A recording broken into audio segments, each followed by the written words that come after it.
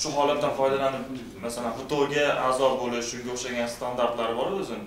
Shu standartlar ya'ni masalan har xil monopoliyalarni yo'qotish bo'yicha chunki iqtisodiyot уже yomon holatga qarab ketyaptida shunday paytda foydalanib shunaqangi holatlar to'g'irlab oladigan payt emas bu bo'yicha palata qanaqa taklif beradi? Ayniqsa shu proteksionizm masalasi. Bilasizmi bitta narsa. Hozirgi dunyoda Э, juda ko'p iqtisodchilar э, э, liberalная торговля deydi liberal savdoga bu zarba bo'ldi deydi. Chunki yevropa davlatlari ham ko'rsatdi hammasi proteksionizm asoslarini boshladi. Juda ko'p davlatlarni ko'rib turibsizlar eksportni chek qilaman boshqa qilaman deb proteksionizm qaytanga rivojlanib ketdi. Man bitta narsani finansist aytadi когда все продают покупай deydi. Ну я не знаю какой из финансистов. Когда все покупают продавай deydi shuning uchun hozir bizni mana investitsiya va tashqi savdo vazirligi bilan vtoga biza o'sha komissiyaga a'zo biza tezroq kirib olishimiz kerak chunki bizaga ochiq maydon kerak yevropaga hozir man yevropa bilan video konferensiya o'tkazdim fransiya bilan video konferensiya o'tkazdik и Европейский soyuz bilan bilasizmi nima hozir eng katta imkoniyatimiz bu hozir hozir egallab olish ularni marketlani это либеральный протекционизм который я не называю сбалансированный протекционизм дейміз я jamshid anvarovich просто отвечу что я попозже.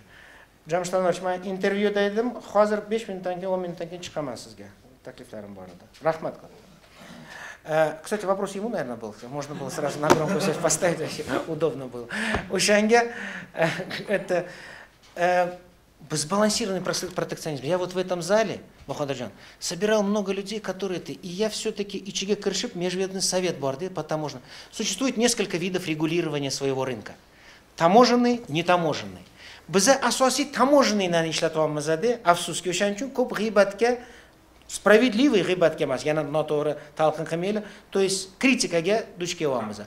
Да, а нужно использовать нетаможенный, например, Индия. Она использует квоты. 150 тысяч тонн гороха над нут дейді мы будем принимать с марта по октябрь дейді. Это же протекционизм же, он своего защищает, потому что у него в другое время поспевает.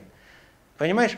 Обязательно келе факат что таможням нам ишламахчида. Мы должны, не таможенные это квоты, это технологические, технические стандарты. Машина нарсалам нам. Хорошие, качественные продукции пусть приходят к нам. Дегенда, мы протекционизм будем делать, но и развивать своего. Мы должны сказать, опять-таки не хочу переносить, допустим, некоторые страны нам сыр делают. Нет, нам нужен сыр вот таких-то технических стандартов. На него он соответствует. Мы таможенную пошлину сделаем 0 или 0,2. А на тот сыр, который у нас такого своего, навалом дичкери. А у нас, к сожалению, сейчас только таможенный. Сыр, сыромолочные продукты. Щарта и начинается. Пак что нам за сыр? Урад. Неужели вы думаете, что Пакистан занимает пятое место по производству молока в мире? Но o'zimga ikki marta pokistonga borib keluvdim mana o'sha tppni raisi bo'lib и я хочу сказать я хочу чтобы наш предприниматель развивался тоже но с помощью не только таможенных но и других барьеров то есть сбалансированный протекционизм bo'lishi kerak lekin hozirgi maydon o'zbekistonga vtoga boshqa anavi gsp plusga ko'ryapti они до октября уже нам хотят ana mishel нам gaplashdilarku davlatimiz rahbari То есть эти площадки открываются, чтобы миру открылись. Опять-таки на вопрос Камардина, а где мы раньше были? Ну мы за три года сделали то, что за 27 лет не делали, честно.